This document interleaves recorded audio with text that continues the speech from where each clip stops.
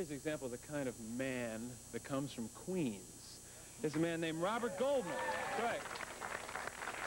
Robert Goldman holds three world's records, 80 handstand push-ups in 43 seconds, 100 handstand push-ups in 1 minute 29 seconds, and 100 one-arm extension push-ups in 49.1 seconds. That's good work. Really? Are you a, you're a teacher with, with, with Jack LaLanne? Yeah, I work for Jack LaLanne. And training to be a doctor? Yeah.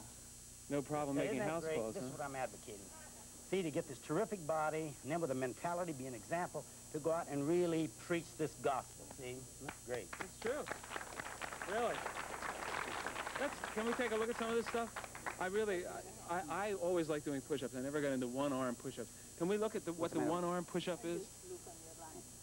Yeah, some- I'm still some here. people do them like this, and some people do them like this, but these are like this. Wow. That is really hard. Difficult to do.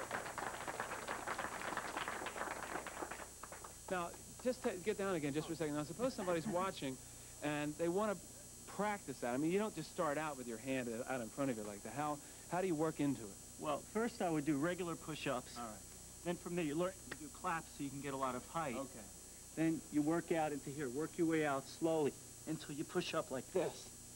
Then you take the arm back and you stretch all the way out like that. And how many of those did you do for the world record? A 100 and whatever. All right. Now, handstand push-ups. First, just doing a handstand is tough. I mean, that takes a lot of strength right there, right? Yeah, a little difficult. So can you show us what a... Well, you want to take a breather first? Uh, I guess I'm all right. All right. Well, while he's taking a breath, you really Lorraine believe... students never get tired. The two... Jack says I'm not- I'm not All right, tired. not tired. Okay. I'm fine. Go ahead. Handstand push-up. Okay, uh, generally when you're first starting a handstand, you could start against the wall. Then after a while, you, you learn how to just balance down, where you just come down like this, and you're and you're in it. Then you just push up like that. Oh, And then you just push up, just like that. Yeah. And if you want, you could do them with your legs apart, cross, whatever way you want, and you just keep pushing.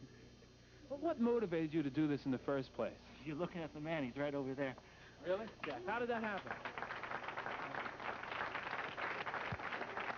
Well, I used to when I, I used to watch Jack since I was a little kid, and uh, he always used to do all different kinds of exercises. I mean, you were, were a little kid watching him on TV. I was about this high. I was a little sprout, and uh, I grew out of a seat, and now I practice what Jack used to do on TV. That's where I originally started exercise when I was about nine years old. That's fabulous. That must make you sit down. That must make you feel great, Jack. Well, it really To does. think that you have this television show, you've influenced so many I'm people. saying, when you're on TV, you never know what, who your influence or what you're doing to people.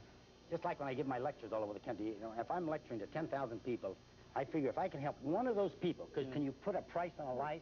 Because my life was saved when I attended that health lecture, that Paul Bragg's health lecture. And if I hadn't been there, I mean, if he hadn't been there, I would have probably be dead now, because I would never made it. I'm, I'm positive.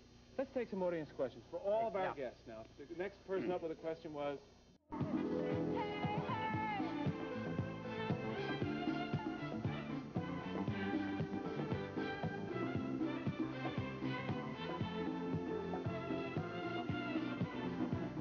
today, so stay with us.